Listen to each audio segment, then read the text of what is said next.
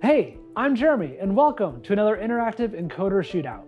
Today we're testing three hardware encoders at three price points. We'll compare their quality of H.264 streaming and help you decide which price tier is best for you. It's time to test the Magewell Ultra Encode SDI, the Videon Edgecaster EZ, and the Osprey Talon 4K-SC. Let's do it.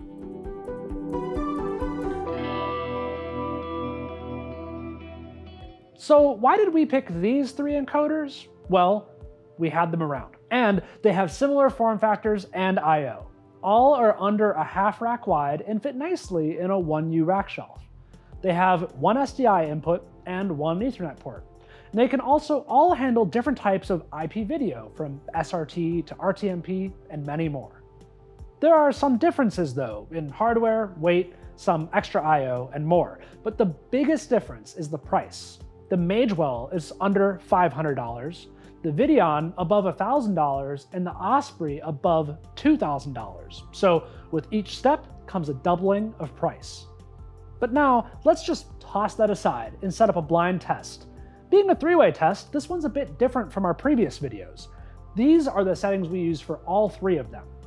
We streamed to YouTube via RTMP on each encoder, and these streams are all linked in the description of this video. But I'm sure you've noticed that there are actually four streams in the description, and that's because the Osprey needed two tests. One of the tests looks incredible with the confetti, while another looks really stuttery.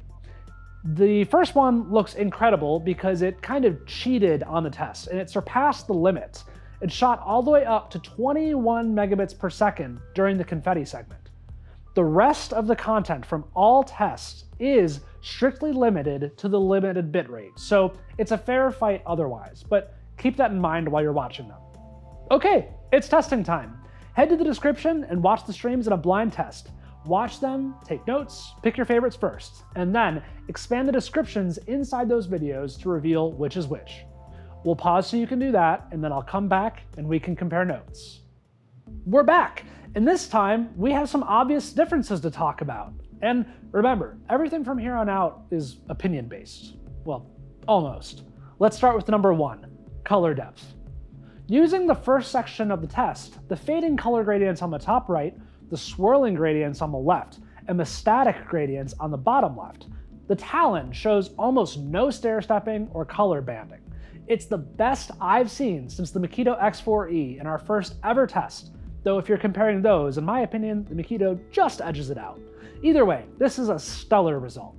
The Ultra Encode and the Edgecaster, though, each have their own problems with color. On first glance, the lack of stair stepping and color blocking on the Ultra Encode looks great, it just looks fuzzy and flat. The Edgecaster, it shows more stair-stepping in the fading color gradients and looks a bit stuttery up here on the top right. Number two, noise and confetti. I have to give this winner to the Ultra Encode. Now, the noise on the bottom right of the test patterns comes in and out, but it's there. The colorful confetti isn't as colorful as the others, but it keeps some clarity and definition. The Edgecaster looks awful. I don't think it knows that this is not supposed to be four stripes of gray. The noise is completely gone.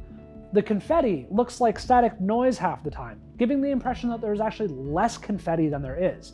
This is the worst result I've seen in this test. And if you're streaming esports with particle effects or, I don't know, snowboarding or confetti, I would just stay away from it. And then we have the Talon, which was both the best and the worst at the same time because it either cheated or completely failed.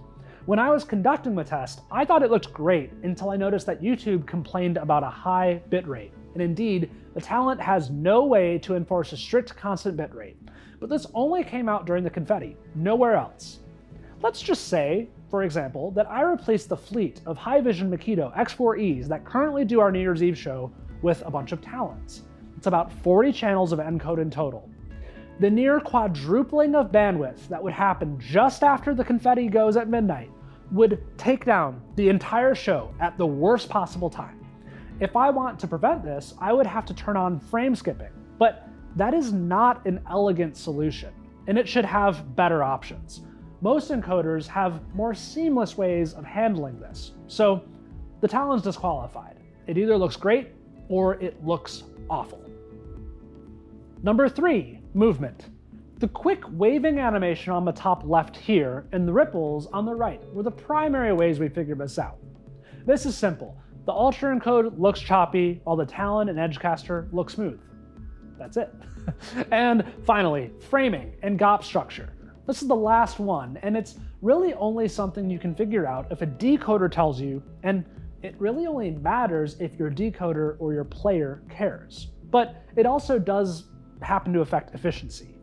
Among the many settings that are made available to you, the Talon lets you control the GOP structure, which really helps its customizability. For our test for a control, we just set it to I and P frames only. The Ultra encode doesn't give you control of anything on the GOP structure, it just uses I and P frames. And the Edgecaster also has no control of it and has a variable number of B frames present at almost all times. So, who won? Well, I don't think it's that simple. I think each encoder performed to its price point. If the Ultra encode dealt with color and contrast better, I would actually prefer it to the Edgecaster. I also think that at its price tier, the Ultra encode is pretty unique and it stacks up well. On the other hand, I was a bit disappointed with the Edgecaster, and I think that for its price, I would personally go the software encoder route. That's because I've seen Edgecasters in the wild more than the other encoders we've tested here, but I've also seen them fail and die not infrequently. So for me, the whole hardware reliability argument doesn't work there. Finally, the Talon looks great and it's very well rounded. It's just up to you if the price difference is worth it. And for us and our clients, it is. But we already have a ton of Makitos, so we'll keep it around for smaller shows that still need the great quality when we need it. What other hardware encoders should we test? Let us know, and please like this video if you enjoyed the test, and let us know what your findings were. Thanks for your participation, and we'll see you next time.